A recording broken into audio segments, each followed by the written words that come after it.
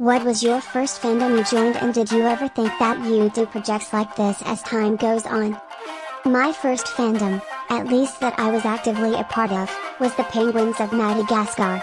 If anyone knows about DreamWorks' Madagascar franchise, the Penguins had their own TV show on Nickelodeon for a few years and I was obsessed with it. I also started watching YouTube a lot more and discovered websites like DeviantArt during this time, and through the power of MVs and fan art my downward spiral as a person began because the fandom introduced me to some cool music, art, and even other fandoms with more of the same. I also got the idea to make my own OCs and stories.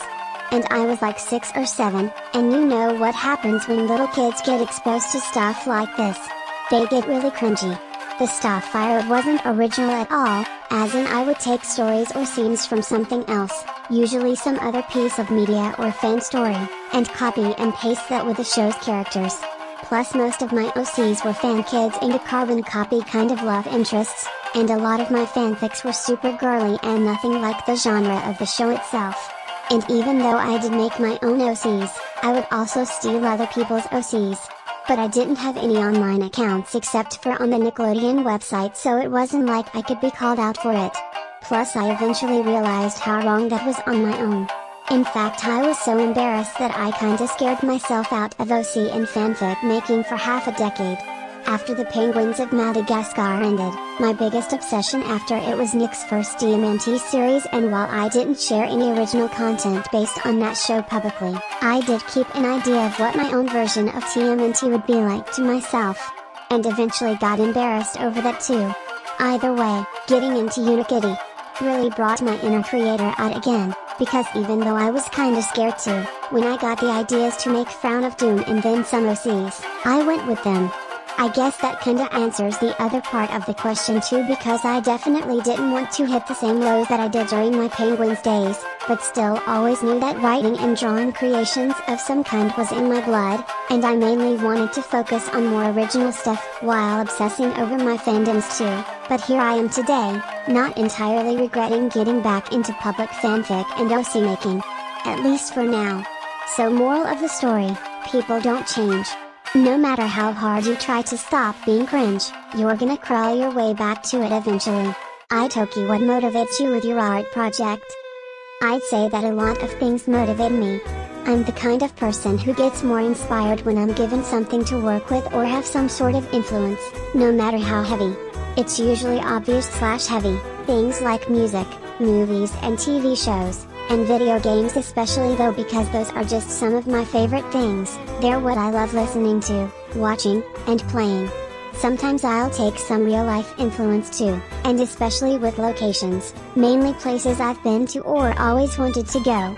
Or even wish were real but I definitely get art and or writer's block sometimes and if I do, I'll usually either decide to find the strength to work despite a lack of motivation if I've had enough of the procrastination or come across something that inspires me to work again and I just kinda keep going until I slowly hit those blocks again. Why do you like Vocaloids?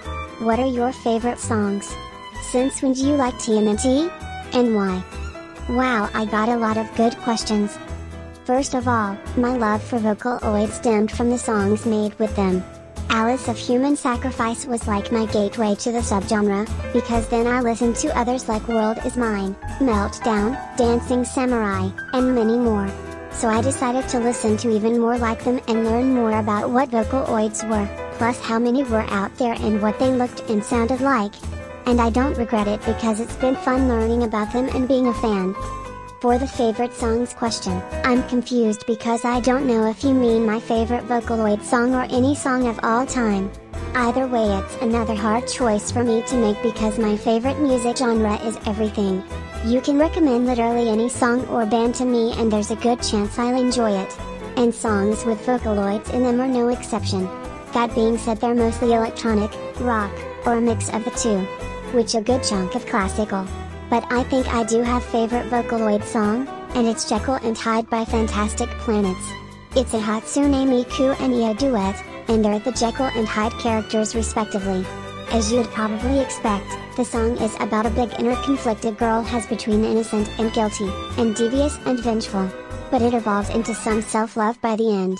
The music itself is as fantastic as the tuning, though, and I highly recommend checking the song out. But as for my favorite song of all time, even with what I said about loving all kinds of music and the choice being hard, I don't even need to think about it, Stairway to Heaven by Led Zeppelin.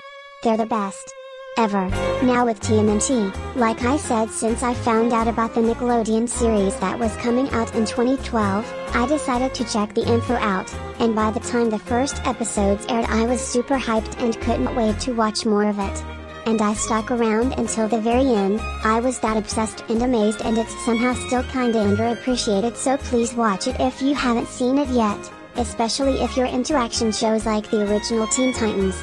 Rise of the TMNT is also pretty good, the first few episodes aren't too great but the animation and character development is still just so beautiful, OMG, especially with that show Splinter.